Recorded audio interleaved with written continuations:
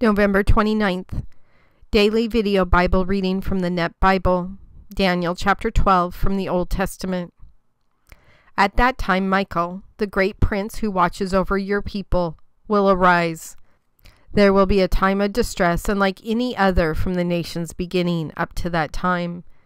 But at that time, your own people, all those whose names are found written in the book, will escape. Many of those who sleep in the dusty ground will awake, some to everlasting life, and others to shame and everlasting abhorrence. But the wise will shine like the brightness of the heavenly expanse, and those bringing many to righteousness will be like the stars forever and ever. But you, Daniel, close up these words and seal the book until the time of the end. Many will dash about, and knowledge will increase. I, Daniel, watched as two others stood there, one on each side of the river. One said to the man clothed in linen, who was above the waters of the river, When will the end of these wondrous events occur? Then I heard the man clothed in linen, who was over the waters of the river, as he raised both his right and left hands to the sky, and made an oath by the one who lives forever. It is for a time, times, and a half a time. Then, when the power of the one who shatters the holy people has been exhausted, all these things will be finished. I heard, but I did not understand. So I said, Sir, what will happen after these things? He said, Go, Daniel, for these matters are closed and sealed until the time of the end. Many will be purified, made clean, and refined, but the wicked will go on being wicked.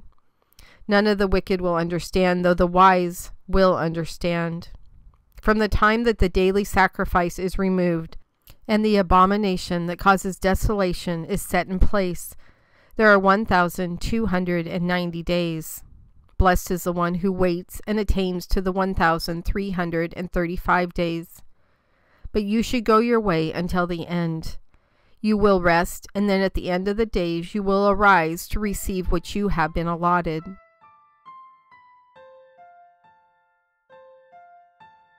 God, I love how intertwined your word is. We know so much of Daniel is also uh, reflective and vice versa in, in Revelation.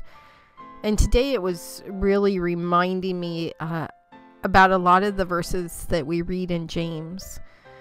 Count it all joy, my brothers, when you meet trials of various kinds, for you know that the testing of your faith produces steadfastness and let steadfastness have its full effect, that you may be perfect and complete, lacking in nothing. We know that we have to suffer here on earth, and that suffering is for your glory.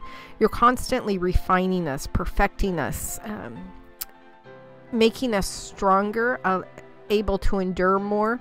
I think sometimes, uh, in certain situations, you're also getting uh, some of us ready to deal with end of times. But James goes on to say, Blessed is the man who remains steadfast under trial. For whom he has stood the test, he will receive the crown of life, which God has promised to those who love him. And we do know from a couple different places in the Bible that uh, after we go up to heaven um, and all of our bad stuff burns up in the fire and, and our good is left, that we're that we actually receive this crown of life from you. Some people think it's going to be a real crown that we, of course, turn around and lay back at your feet. Um, or it's a uh, virtual one, meaning you're giving us eternal life to glorify you. But no matter what eventually happens, we know what is in Daniel is true. Many will be purified, made clean, and refined, but the wicked will go on being wicked. None of the wicked will understand, though the wise will understand. I think it's uh, startling to read that part in Daniel about people uh, being raised from the dead, from the graves, and waking up and either finding yourself in heaven or finding yourself in hell. Not a third option, one or the other.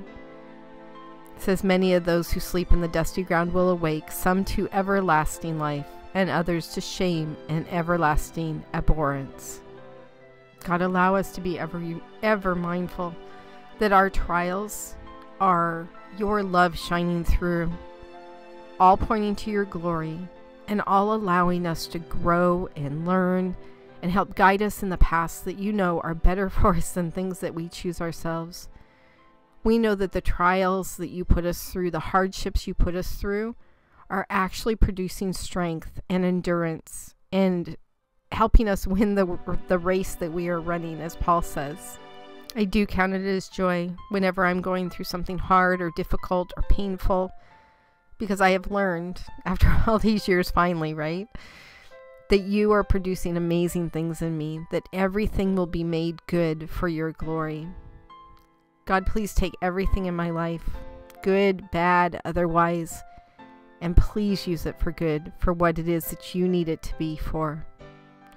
God, we thank you so much for the book of Daniel, for teaching us about your power, for staying true to your word, for teaching us about prophecy, and most of all, for teaching us about sovereignty. God, we just love you so much. In your son's name we pray. Amen.